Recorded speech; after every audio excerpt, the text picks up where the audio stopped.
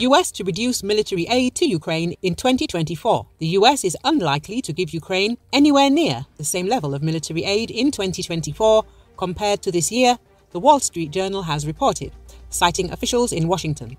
Meanwhile, President Joe Biden and his administration insist that they will continue to back Kiev to the hilt.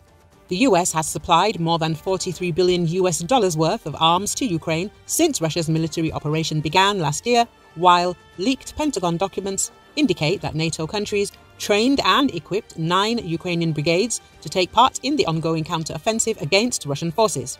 With the Ukrainian military failing to penetrate Russia's defensive lines after nearly three months of fighting, American military planners are advising their Ukrainian counterparts to stick to their NATO training and use what they've been given more effectively, the Wall Street Journal reported.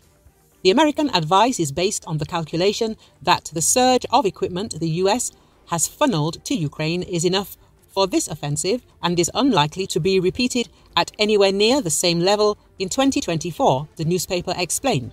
Washington's continued bankrolling of the Ukrainian military is a matter of political contention in the US. While almost all Democratic members of Congress back Biden's policy of arming Kiev for as long as it takes, a group of more than two dozen Republicans are vehemently opposed.